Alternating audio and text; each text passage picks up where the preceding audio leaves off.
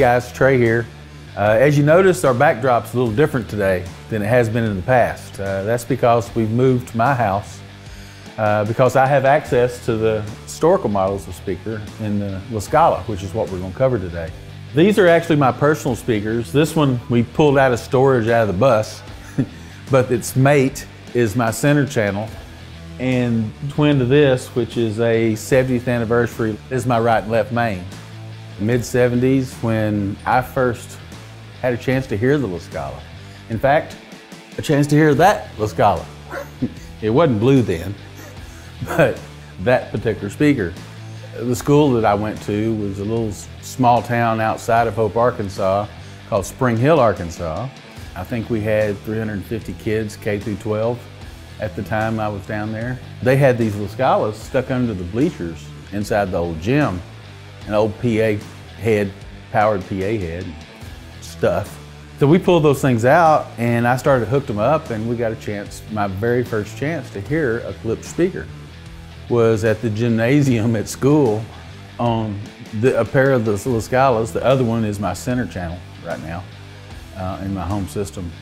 And um, from then on, we had audio during PE and during the gym. Cats love Klipsch. So from then on, we had sound in the at PE at, at school, and uh, I kind of ended up being the AV guy from then on at school. So uh, I continued to listen to this product and got interested in it, and more interested in, in what things sounded like, and why they sounded like, and a good portion of that come because I had a chance to hear that pair of speakers. And you notice the woofer sitting on top of it, that's the tone standard from the early 80s, 1980, for the professional Klipsch La Scala. It's funny to say that, that it's a professional Klipsch La Scala is different than the ones behind me, because in 1963, the La Scala was engineered to be a professional public address speaker. In 63, we're actually using this speaker as a portable speaker for Winthrop Rockefeller's gubernatorial race in the state of Arkansas was built and detailed the same way that his home speakers were built and detailed. The difference was it was in a carry around package at around 123 pounds. Had the K33J, it had a Jensen driver in it for the woofer. The mid-range horn was a K400 uh, aluminum horn, cast horn, with a K55V Atlas driver and a K77 Electro Voice tweeter. Paul did his own network for that. He picked up parts similar to what he had in the, in the K-horn, as this speaker was basically a K-horn minus the last third of the, or half of the low frequency cabinet. Low frequency cutoff is about 50 hertz, and the low frequency cutoff on the K-horn is 35 hertz. And that last third of the horn is the part that actually gets you there. Moving forward in 1966, there was a network change, the crossover to a Type A from an original network. The woofers changed over the years. Uh, in 67, it changed to a 33M. Shortly after that, it went to the Paducah, Kentucky developed driver from CTS. Uh, it stayed that way for a little while. In 71, AA network was developed. They added the Zener diodes to give tweeter protection to help with some of the overpowering of the tweeter at high volumes. 74, the mid-range driver changed around for a short period of time because of access to the 55V.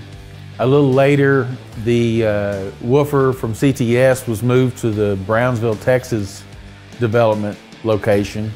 They used that for a few years. Shortly after that, an Eminence E-woofer that E-woofer was used in a good portion of, of the products that use that 15 inch. So having that woofer work across the board makes the product a lot more cost efficient. So that was the, the efficiency part of building products that Paul added to his products. The AA network, same way, a lot of the same parts all the way through the, through the different networks. The transformer, T2A transformer was the way to get one transformer to fit all the different uh, step downs for the different uh, mid-range horns.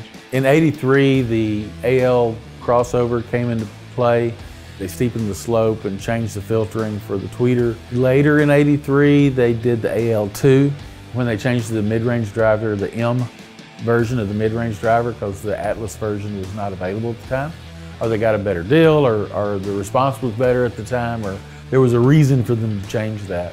And they also went to the 401 horn. And that's the, the molded plastic, if you will, uh, horn that's used uh, today even. They had some problems with drift in the, in the drivers, meaning that the response of the drivers as they built those drivers over time changed. So the AL3 network was actually designed specifically for the 55M driver that was later in, in that year, uh, 80, 1989, because of the drift in that driver's build. So people talk about grabbing a driver and sticking it in here because that's a better driver. Think about that. They had a complete driver, I mean, network nomenclature change and put it in a different network just because the mid-range driver drifted in its standard operating range as a manufacturing piece. If you go grab a driver and stick in there, the likelihood of that driver to be the same as the drift of that mid-range on that dry network, very unlikely, very unlikely. Uh, you get a little more give when you're dealing with the woofer. You can get a little bit wild with the woofer compared to the mid-range driver or the tweeter because of the capabilities of that LF horn and what it does and doesn't do. Uh, but man, you start changing mid-range tweeters and you run into problems.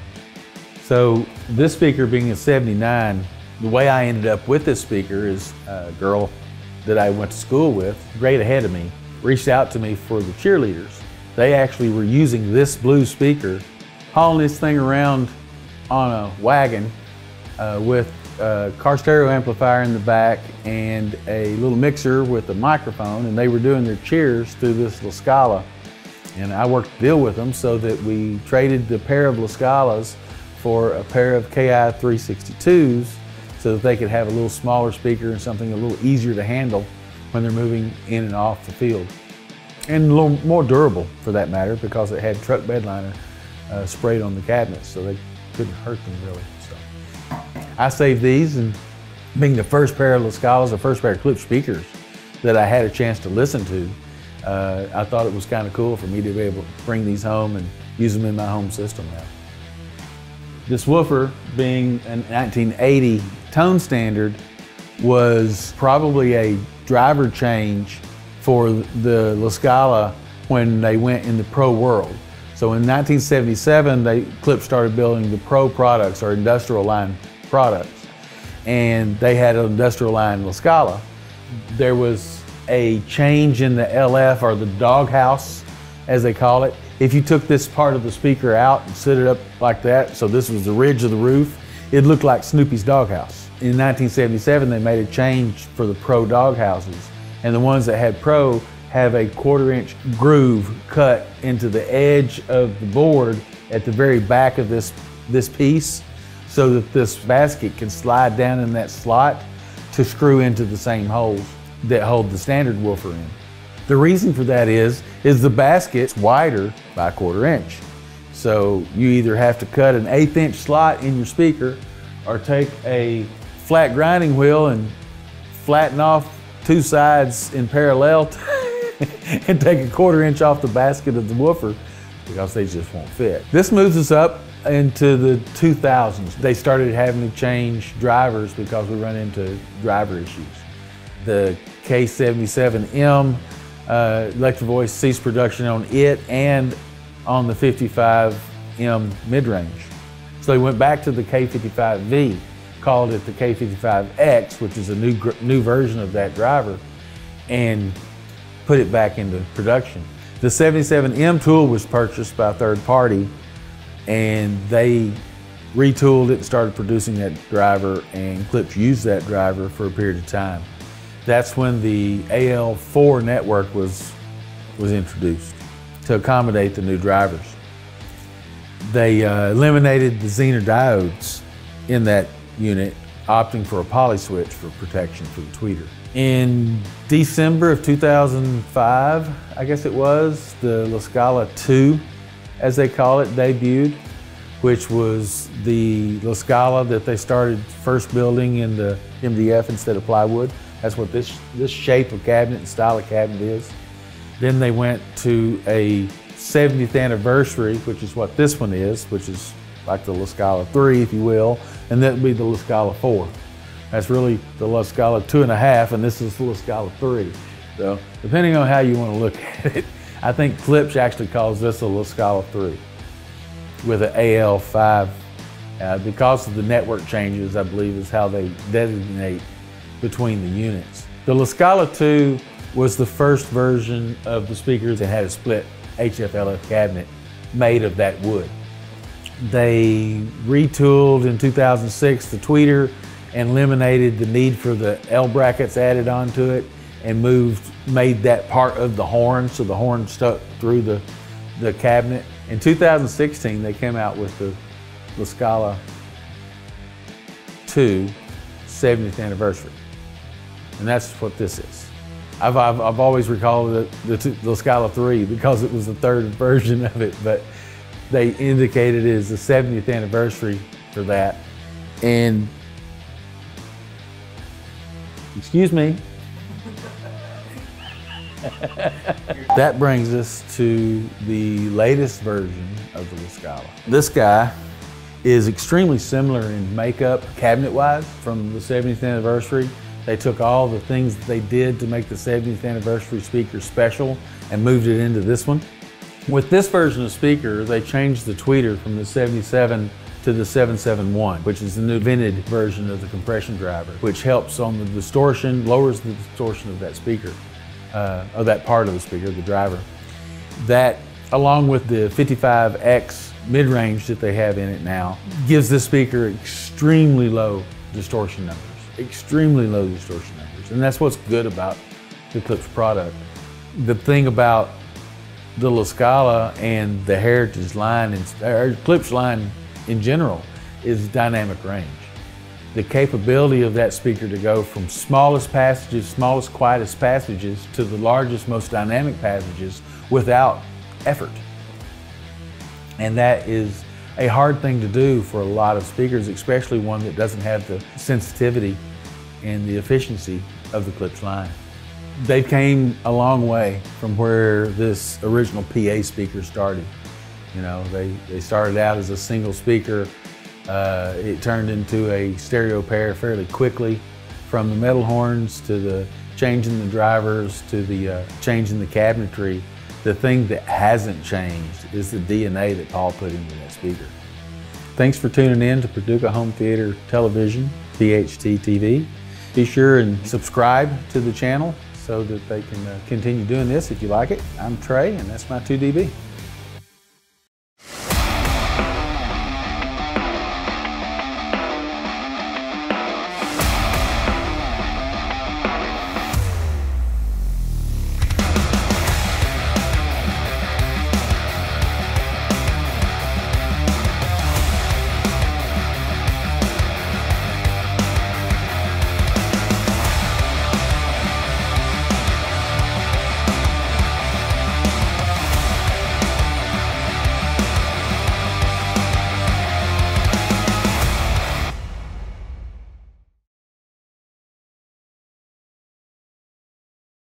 You know, Paul said we walk on the shoulders of giants. I don't think I quite qualify, Jethro.